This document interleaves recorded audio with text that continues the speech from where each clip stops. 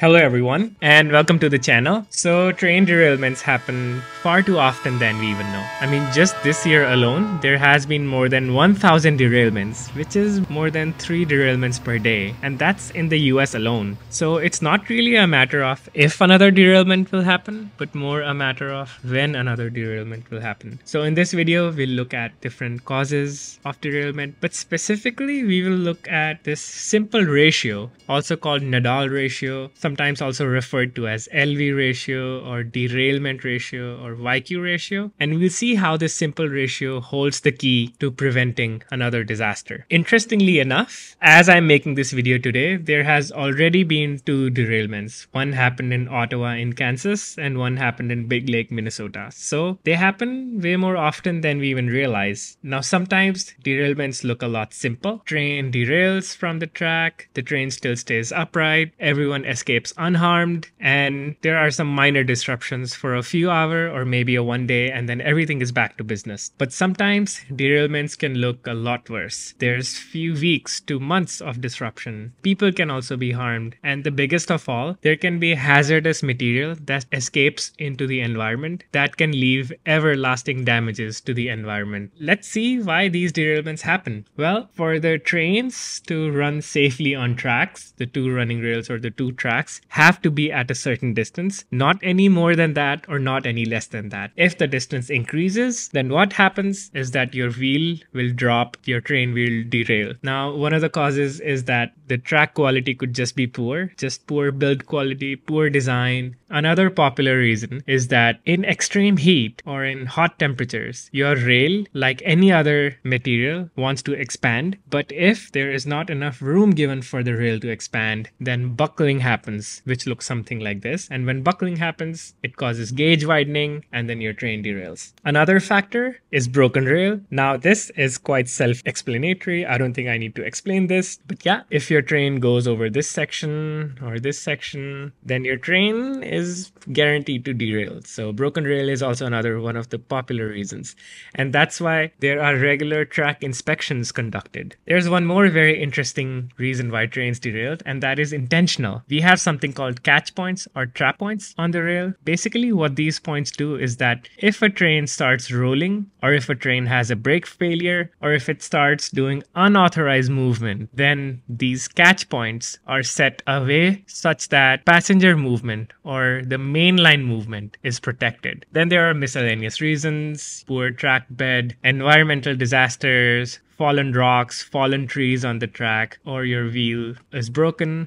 So things like that can cause the trains to derail. But the one we are most interested in today is called flange climb. So first of all, this is called a flange. And what happens with flange climb is that when lateral forces develop and exceed safe limits, then your flange literally climbs the rail and then jumps and then the train derails. Here, your flange has climbed the rail. And when your flange climbs the rail, the other other wheel drops, and then your train derails. Let's look at one of the examples. So in Melbourne, Victoria, a train derailed, and on the investigation by ATSB, which is Australian Transport Safety Board, what they found was that the derailment was due to increase in the wheel to rail lateral force. So whenever investigators investigate, basically what they're looking for are marks on the rail which show whether wheel climbed the rail or not. And in this scenario, you can see the wear marks on the rail, which shows that the wheel climbed climb the rail, and that's what they have written in their findings. Now, what are the origins of these lateral forces? Well, one of the reasons is that the train wheels are not perfectly cylindrical, but rather conical. One of the reasons for conical wheels is, is that it makes it easier for the wheels to go around curves. Another reason for them to be conical is to have a self centered motion. So, if a train starts going away from the center, then the conical wheel brings them back to the center. Same way, if a train starts going in the other direction, the conical wheels bring it back to the center. Because of this, there's a constant sinusoidal motion in which a train is running. You can also see it here that your train is not in the perfect center and it is actually moving slightly from left to right. One of the reasons why, as passengers, we don't really feel it is because there are something called yaw dampers, which are dampening the movement from left to right. Another reason are lateral forces because of curves. If you ever dr- drive a car or if you've ever been in a car and your car takes a sharp curve, you will feel an outward force pushing you out. And same thing happens with the train as well. Anytime the train is going on a curve, there's an outward force pushing it out, and the same outward force is also felt by the wheel. And that's another reason why wheels experience increased lateral forces. Uh, there's actually a movie called Unstoppable, which actually perfectly portrays this. A speeding train is going over a curve at speeds higher than safe speeds, and you can see that the lateral forces have built so much that the inner wheel literally lifts off of the track and stuff falls off of the train. So this picture quite accurately portrays increased lateral forces that a wheel experiences when it goes over a curve. So at this point, I want to show you what these extra pieces of rails are. So what these extra pieces of rails are, are actually called guardrails. And the purpose of these guardrails is that when a train is going over a curve and the outer wheel is experiencing excessive lateral forces, then the inner wheel engages with this guardrail and this guardrail is able to stop or restrain the wheel. And this restraining makes sure that the lateral force on the outer wheel do not exceed the safe limits. So that's why we have these guardrails.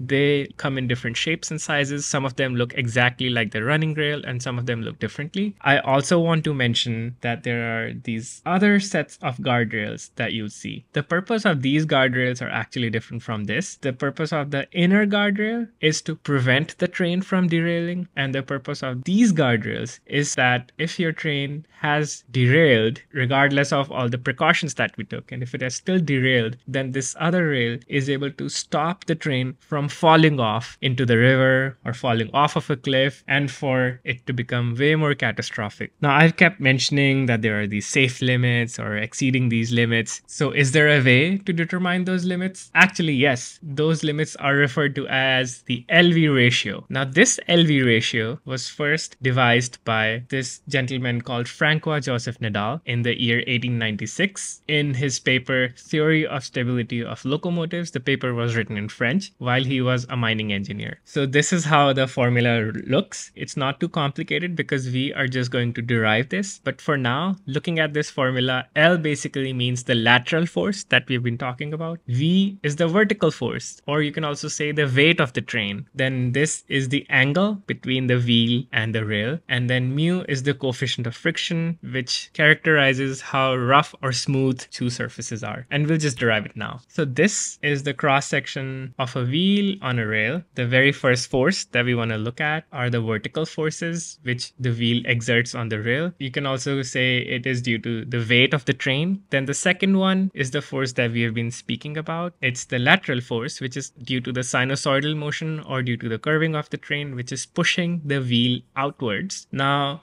when a wheel is in contact with the rail, it is not a horizontal plane, but actually it is at a certain angle, and that angle is theta. And the force with which the wheel is constantly trying to climb the rail, let's call it F2. If you look at video here, basically the wheel is constantly trying to climb the rail. It's kind of like a person climbing a steep hill. And sometimes when the friction is very low, meaning the surface is smooth and slippery, that no matter how hard you try, you keep slipping back. Sometimes the friction is high and with enough forces, you are able to climb the steep hill. This is just an analogy of how friction will also affect if the wheel is able to climb the rail or not. Let's look a bit more into friction. The way friction works is that frictional force FF is the product of the perpendicular or normal force, which we can call V, but the product of perpendicular force and the product of coefficient of friction is the frictional force. Coefficient of friction is what characterizes how rough or smooth two surfaces are. So for example, steel on steel has a coefficient of friction of 0.74. Teflon,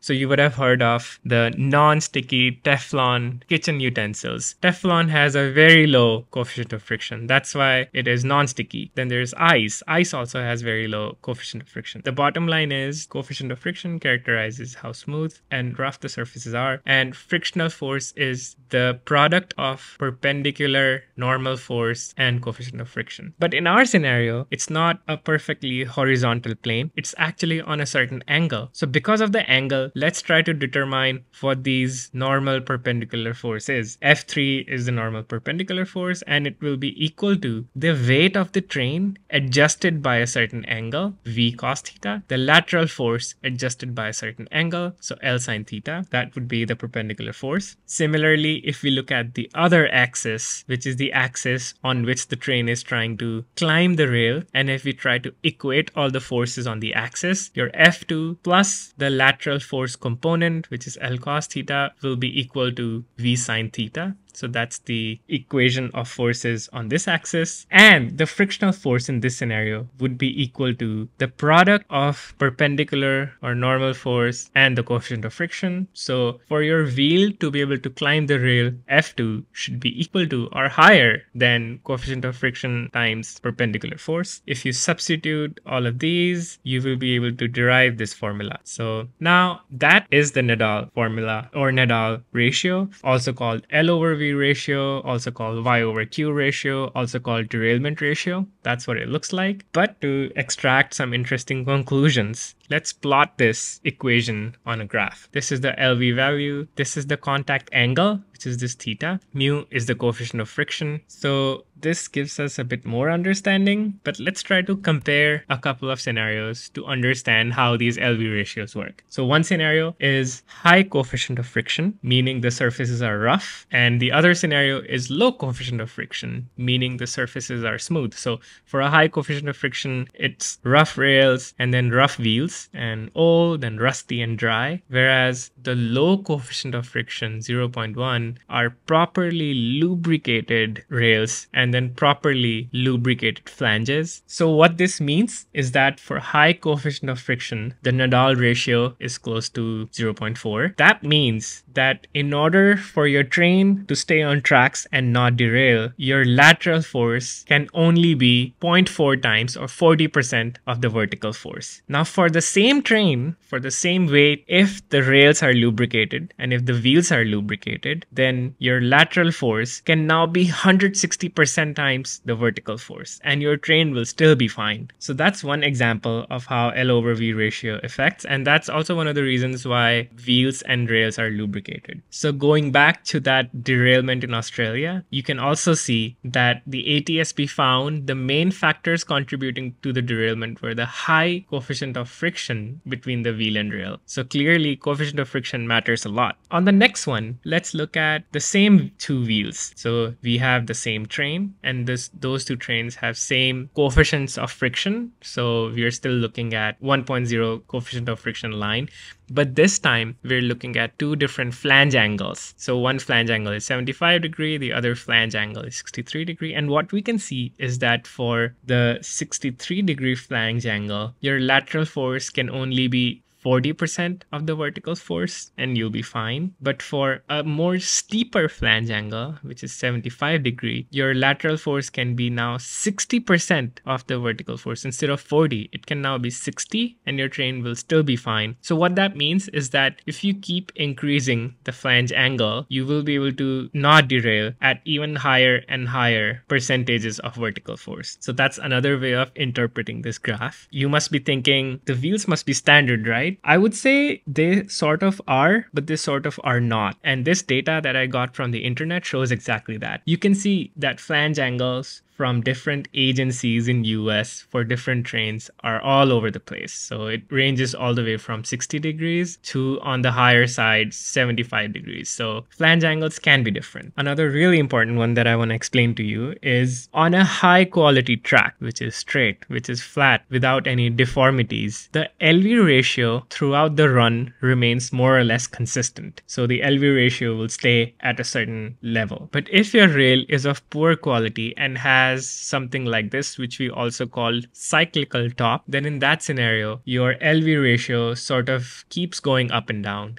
At certain point, you have a higher vertical force, but when your rail dips, the vertical force becomes really low because now your wheel unloads. If I were to explain it to you, if you're ever going in a car and there's a big pothole, for a second you feel weightless. And that's basically your car and your wheels have unloaded. So when it unloads, vertical force drops below a certain value, because of which now your denominator is low. And so your numerator is the same. And so your LV ratio will be very high and cause derailments. That's why when we build tracks, there are limits to how much track twist is allowed for safe operation of the train. I hope the video has been informative. Let me know if you enjoyed it or And let me know in the comments what do you think? What are the next topics that you want to see? And I'll see you in the next one. Thank you.